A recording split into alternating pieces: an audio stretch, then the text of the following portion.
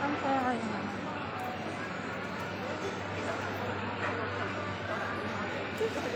Hi guys! Good afternoon! Gagala si Kunyang. Kasi today is my day. my day talaga. My day! Gagala ako. Ako lang mag-isa. Wala akong kasama. Sinong free dyan? Sarap sana pumunta sa Ocean Park kasi maulan. But I try my best. Maulan kasi. Dito lang ako sa hanghaw.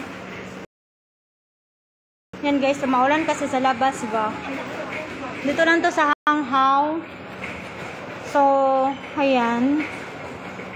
Kung pupunta ako sa Ocean Park, libre nga, kaso lang maulan. Huwag na, nakaka, nakakapagod din pumunta.